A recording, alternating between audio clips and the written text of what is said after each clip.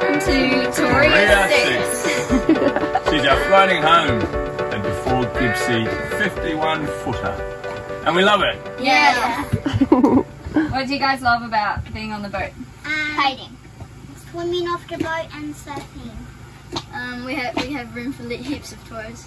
Yes. Get out of the wake up and just jump off the boat. Taking your home wherever you go Yeah. is really fun. Yeah. Anywhere the ocean will take you.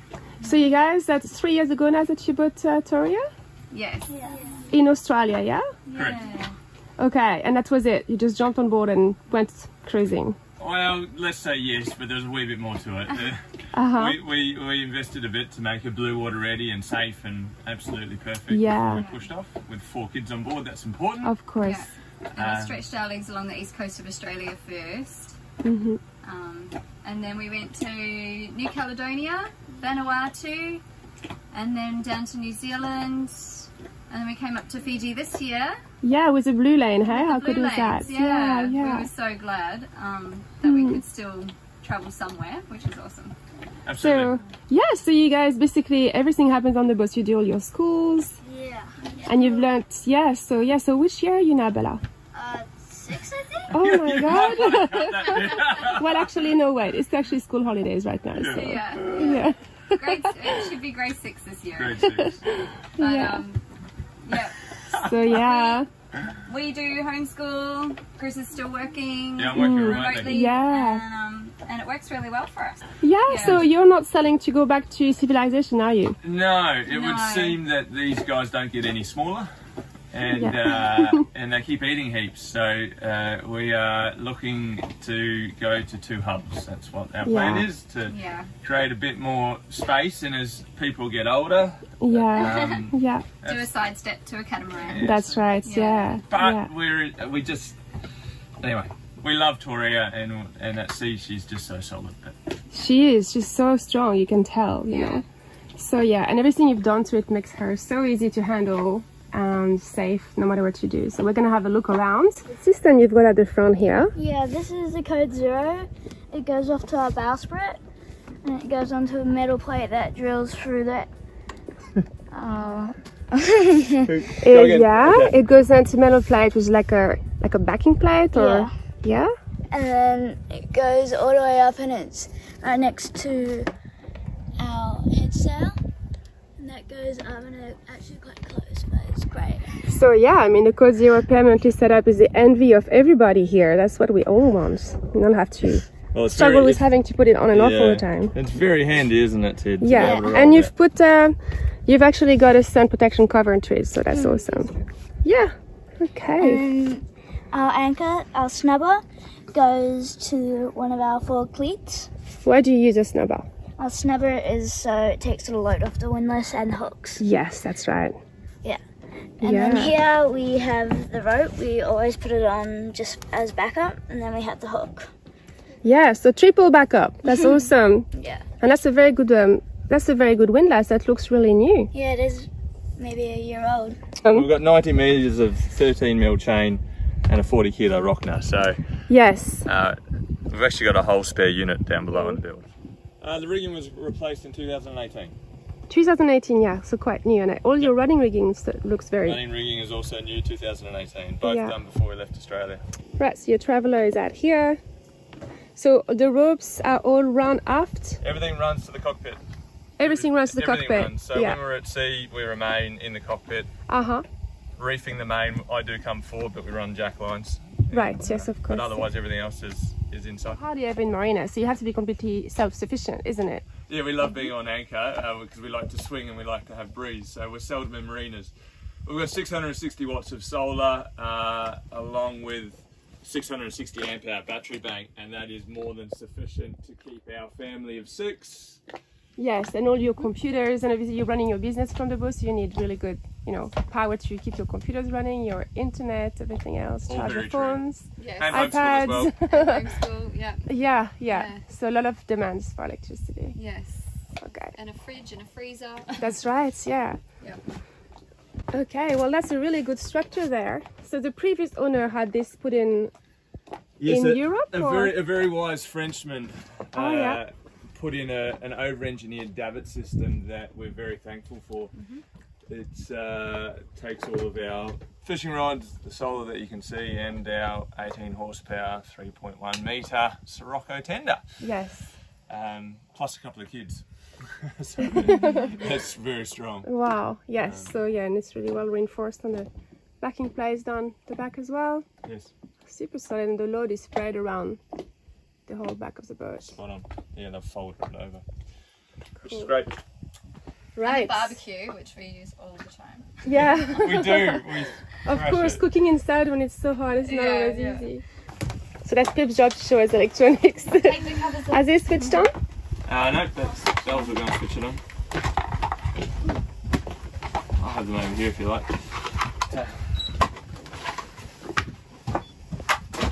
I'll just go and get one of the iPads that we use for navigation too. Yeah. So what do all these things do? So this one tells us what the wind is. This one tells us the tide, and this one tells us the depth. That one's the that's Andy, the autopilot. Oh. So the electronics, uh, this is recent to you, so did you guys replace this? as Yes, well? we did. yes. Okay. So it's an Axiom, Raymarine Axiom chart plotter, and mm-hmm. it talks to everything else that you can see there as well. It's Okay. So yeah, great. So And if, if this put stops working, you still have your info on that thing. Correct. Mm-hmm. Great. And what is this? A radio. VHF, yeah. Which we also put in out here because we only had one downstairs. And then, of course, just like everyone, we also use the iPad for Yeah. navigation. Navionics is just everyone's best friend. So and that's our setup. Ovital, do you use Ovital Map? Or? We sure yes, do, yeah. Yeah, particularly in Fiji. Yeah. yeah, yeah. And iSailor as well. Ice iSailor, mm. yeah. So do you have AIS? Yes. AIS? Yes. Mm-hmm. You can usually So that's part of the Raymarine. Yeah, we can see the little green birds. Cool. So people can see you and you can see them. Yes. Okay. Great. then we know where all our friend boats are. yeah. And Bass so, Wester. Perfect. Yeah. What kind of bow thruster is it? Is it uh, permanently, like, does it go up and down or is it uh, permanently set up like a tunnel through the. What is it, Bells? It's permanently set up. It's So a tunnel. It's a tunnel. Yeah, that's great because that means it's a lot more reliable than some of the ones that go up and down. So it's great. Has the same battery up the bow. Yep. And It's That's so its very own handy. battery. yeah, we, we course. use it a lot. Yeah. Yeah, so you've got very good control over the boat. So you've got some more of those things here to put your Yeah. iPad on. Yeah. Okay. That's a really good setup. So down here, I'm guessing that's your um, that's your emergency tiller. Correct. Spot on. And, and the actual tiller arm is underneath me. Yeah. yeah. Then you've got pretty good storage under those seats. We do. Under here is our water maker, and and, and yeah, generator and um, other bits. Raft and this side has life, life raft and lines. Life rafts and lines down here. And the life raft is actually it's in a what do you call a soft bag? It's a soft bag. Mm. Okay. But when we're at sea, it fits perfectly in that spot there. Yeah. We're so always a believer that the life raft needs to be able to be Ready to deployed deploy. by the Yeah. smallest person. So I was kick off the back and we're there. Yeah. So that's quite cool. Yeah. But when we're not at sea, it, it lives under there. Let's see, the dinghy lives up here, It does. and the engine comes off and goes onto this davit with a crane. It's Spot on. own dedicated crane. Okay, so should we launch it? Let's do it. It takes a little bit of elbow grease, but these guys are well, well skilled. It's already in. I didn't take it out. That's good. You might want to fast forward like this in like.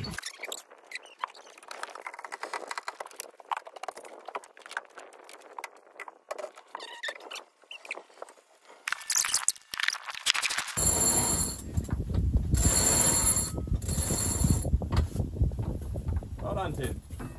Good man. Nice work, buddy. Brilliant. So, hey, so much space down below. I- And you, Chris, who's about seven foot tall. I'm not joking. How tall are you? Six foot six. Six six. So yes, Yeah. you're very tall. So yeah, it's well, about two meters in the old scale. So it was important to find a boat that I was going to be able to fit in. Yeah. Definitely. There's not that many out there. No. And I do, so it works well. Perfect. Yeah, because you know people would think five cabins. Like, oh, is there any space for salon? But there is. It's heaps of space here. So yeah, really nice big table. And the upholstery is in really good condition. It's amazing. So here we have our little captain here again. So do you want to show us what's happening here? Uh, the nav station. We've got um, all the like the wind, the VHF, and the battery charger as well. All down here. So what does it show right now? The battery monitor. The battery we've got 76. 76.8% full. Is that all the Yeah. batteries or just some of them? I think it's all of them. All of them. Yeah. Okay, so you got your radio. Yeah. We've got our iridium up here too. Yeah, we have an antenna set up with an antenna, which is great. And there's a spare radio up there. Yeah. And then we've got Autopilot. Is that your autopilot? Repeat it. autopilot. Autopilot. No, that's the wind. Ah, okay, so that's your instrument down here. Yeah. And everything is in English and in French. so many times it's written in French and not in English. And a nice big galley, and I noticed the other day you have, well, does that come with a boat? Otherwise, I'll have it. That's a, that's a negotiable item. Yeah, yeah. Negotiable item. and yeah, notice the other day you have this awesome fridge that you can open from both sides. Is that it? Yep. So this one is more of a cool storage uh, where we keep. Crisper. Yeah, like Yeah. a crisper where we keep some. It should, it should be, I laugh because it should be full of beautiful fresh vegetables and fruit. I know we, we've But we- eaten everything. We're due to go back to the mainland. I know, there's no more produce on the island. We have to get So yeah, I often keep like onions, potatoes, pumpkins, things like that in there um, to try and keep them fresh. And then this is our big fridge, which literally goes from there all the way down. Like, Yeah. it's really deep. Um, so yeah, it's plenty of storage. Oh, we should get The rid of that stove's thing. also that's- only two years old. Nice oven. Yeah, it's So I've seen video of you, Bella, making bread as well. So that's cool. So, we have air conditioning. Oh, well, hallelujah! we do, which, which works when we're in at, in at the dock. Yeah. Um, and we have actually four different uh, units, air conditioning units. Uh, we've got two midships, one in the saloon, and one for these two aft cabins. So Okay, They're all there. However, we, uh, before we left Australia, decommissioned them. And so we only used the two forward or the two midship air conditioning units. All the moving parts for the saloon air conditioning and also the aft air conditioning are still there. They just need to be plumbed back in. Okay. why did we why did we do that? We uh, wanted to minimise risk at sea, and uh, we deleted a number of through holes professionally uh, before we left, just to mitigate the amount of right. management of holes under the Absolutely. waterline at sea. Yeah, you told me something crazy. Like was it like 27 through hole fittings in the previously? 27 through hole fittings, and Yeah, we reduced that's that down crazy. to either 13 or 14. We I have think it's thirteen, yeah. we have 13. Yeah. So air conditioners just weren't a big weren't part of what, what we wanted to do. at sea. That's it. And uh, you know, I mean, most boats at the moment, including mine, you can't go inside. It's too hot right now. But here is nice and cool. Mm, we have good airflow and Yeah. because of all of the hatches on, on top, so great And airflow. a nautic deck. And no tick it deck, helps. Yeah, it does. yeah. Yeah. Okay, cool. So we're gonna have a look at the cabins. So, Yeah, um, sure. Where would you like to start? Well, let's start at the back. Okay, sure. So who's there? Um, this is mum, dad. Okay.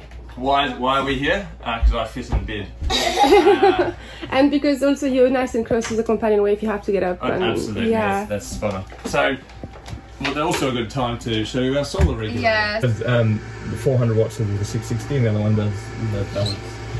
So, two panels per regulator. Three panels per regulator. Yes, correct. Redundancy. Okay. So, I don't know if you want to refilm that, but I'll do So it's just making a bit of, uh, of a fan noise right now, but it goes off after a few minutes. It does, isn't it? yeah. Yes. Just, just Yeah. pull the regulator down. Okay. So that's my alarm clock as well. Because when the sun Your comes up in the morning, it starts working. Yeah. yeah, so this is a lovely long bed, and then Yeah. we've got storage in the lazarette at the back as well. Oh yes, and there's window at the back. That's really Yes. nice. So that's our grab bag. We just keep that there when Uh-huh. we're not at sea. Okay, and then what's in that? And then this is our ensuite. Thank you, just- Okay, so yeah, great. It. And a full length mirror, which is awesome. Yes. yeah, nice space. This is cool. is that the task? So who's doing what? yeah. Oh, that's so good. Everyone's got to help out. Right, so this one. There's, there's a wee bit of a story behind here. Ultimately, it mirrors the starboard cabin, albeit we mentioned earlier we have lots of toys on board. Yeah, you guys have how many kites do you have? A lot. And surfboards and kiteboards and So they live in our garage. Welcome to our garage. the garage. So Oh it- yeah, it- wow. it is genuinely, and we've got an additional freezer that we put in here. Yeah. And we just built a little plywood shelf to put surfboards underneath it, freezer Yes. on top. Mhm. Yes, there's skateboards, there's dive gear, there's spear guns, there's it's just everything lives in here, and it works for us. Yes. Um, so good storage area, but take it all out, put a couple of squabs down, and you have a cabin. To add to that, originally this vessel had five heads, Yeah. five cabins, five heads. Uh, we now have two heads, and the rest have been utilised for other purposes. Okay, so this is now a workshop. A, this is our tool, tool room. So Which is very well organized. Well, this is where all of our spares are. We've got 100 litres of diesel that lives in here with in Jerry's. Oh yes. Down below, um, fenders, power tools, stuff that when you're living on a vessel, Can't believe you managed to fit all your fenders in here as well as all your. There's a lot of space. Yeah. but all the all the bits and pieces from a ex bathroom are still there if somebody was to choose to use them. This is Bella- So this is Bella's room. There's a two bunks, Mhm. and Bella goes on the top bunk. Yeah. Keep well stuff in here. Storage Yes, storage. and school. Mhm. And this is our shower. Okay. So that is just a shower in there. So that's nice and big. Yeah. Everything's very well organized.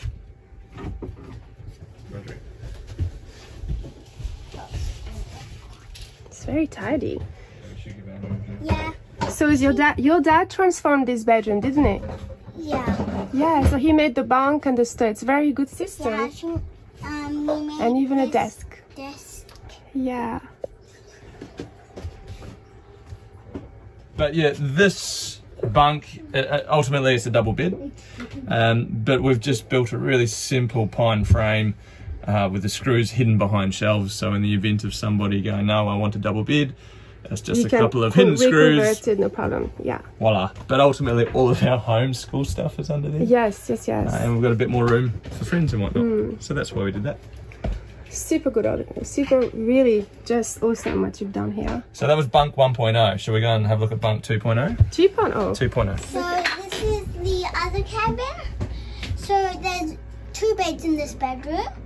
One we made that's a bunk, and then mm-hmm. this one has been here. Underneath there is a water tank that we fill up from outside. And then we've got one air conditioning that works in here. Mhm. And then in this room, we have, we have a bathroom. Surprise. We have a bathroom and then another bed that has another water tank. uh huh. This one, there's another air conditioning that's controlled by that one as well. They connect. Okay, and so this connect. used to be a bathroom, Uh but huh. we turned it into a laundry, and then we've got a bathroom right there. So there's more storage in here Yeah, it's amazing Yeah, how many watch rooms on out. this boat. for kiteboards. Oh, it's a And kite. Oh my gosh, so many toys in here too. Wow. And I've got my own ladder. So you basically you live in your own apartment with your own exit. That's so good. and big storage up here. Yeah, there is room for everything. Yeah. Big cupboard for all your clothes. Mhm. So that's your bed, Archie, yeah? Mhm. Looks comfy. It's easy to say goodnight, is at the right level. Um, but again, same, same. Just a bit more room under here. We retained the double bed. We didn't need the storage. Yeah. And Archie loves sleeping on the top bunk and looking Yeah, at the bottom. Yeah, next to the window. Perfect. Yeah, you can see the stars. So same thing. We've just got a couple of screws hidden behind the shelves to remove it. yeah, Not sleep on it at sea. And he That's doesn't. yeah, that's right. Maybe on the other tack? yeah. yeah. Where, where do you sleep when we're at sea? Under the table. Yeah. Perfect. And this is my bed. This is your bed. How come you have such a mass- massive bed just for yourself? Uh, I choose the bed mostly. Wow, you're the smallest person on the boat and you've got the biggest bed. Visited bed, bed, so when Yeah, so when somebody sleep there. comes, I have to sleep with better. ah, I see. Oh, And then the, t- both of the boys used to sleep up in that cabin. Really? Yeah. Oh, and now you've claimed your The own girls used territory. to sleep there because we didn't know what we Okay. were going to do with the other side. Oh, yeah, Mum and. Dad were sleeping in the other side. Oh, okay. We're trying to. Trying to. Yeah. oh, this is such a good boat, hey? I mean, there's just such a good vibe here, you know? It's true. It's just so everything has a place and it's got space, you know, so much space when you think. I'm looking at all of you here and ah. so much space. You could have three families like yours. So our engine is a Perkins Sabre M92 and it's a 4.2 litre four cylinder naturally aspirated engine. And she's a tractor. She gets it done. She never stops. She's beautiful. So we've maintained her uh, rigorously because we ultimately don't want to be out in the middle of the ocean with small kids on board and having engine issues so um, a couple of things that I'll point out is we've got our normal crank battery alternator. We've also got 120 amp hour Oh, so you've got another alternator. for well. our for our house batteries. Yes, spot on. Okay. But she puts along at about six and a half to seven knots, doing 1500 RPM. Um, not being a turbo, she doesn't rev very. So we've got off. taps. We've got two 250 litre tanks, one under each of the aft beds. Okay, Both of them have fuel taps. okay. uh, to shut off and switch between the tanks easily Right. as well. And here's your hot water system. So obviously you make your hot water through your engine or via power. If Spot you're a on. marina. Spot yeah. on. Okay, Spot good. on.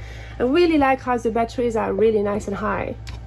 Almost every boat these days have batteries under the bunks and in the in the bilge. Yes. That's not exactly what you want. But the it? engine hours uh, are behind Ted, so Mm-hmm. we, we mentioned that earlier. If you have a look top right, uh, top right gauge. there. 4,669. That's nothing for an engine like that. No.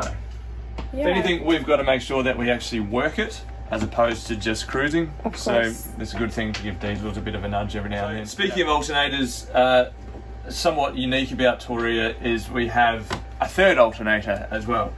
Um, you're not going to see it from here, but we're a shaft-driven vessel. We have three a, a three-blade fixed prop.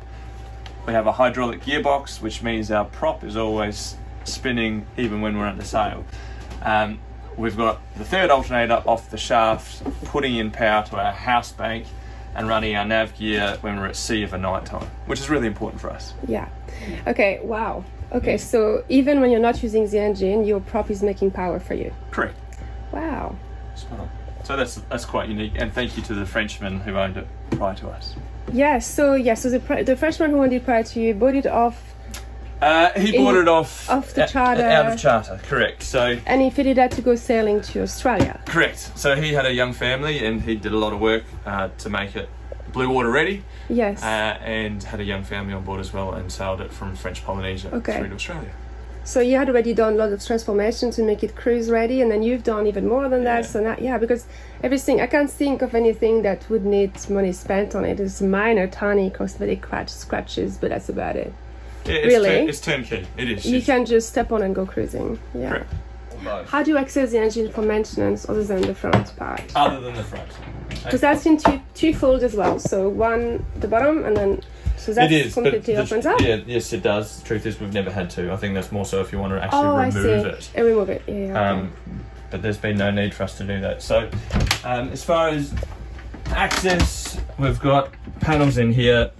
Oh, if you pull that door open for a tick, and we've got Yeah. full access all the way down in here.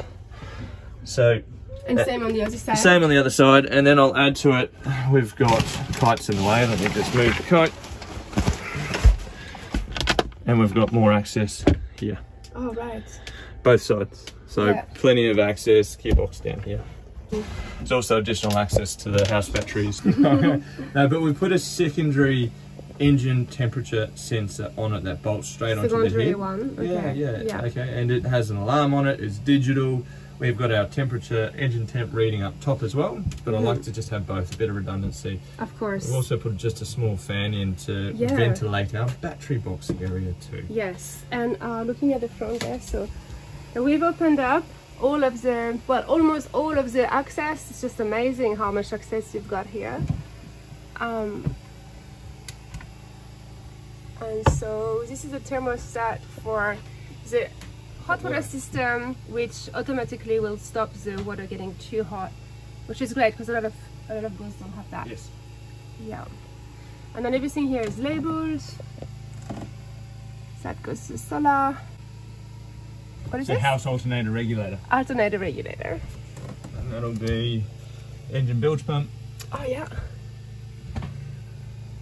That will Yeah. hardwire directly to the batteries with a fuse. Well, that's so helpful. Really helpful. The next people will be very grateful for having something like that. And then you've got this as well.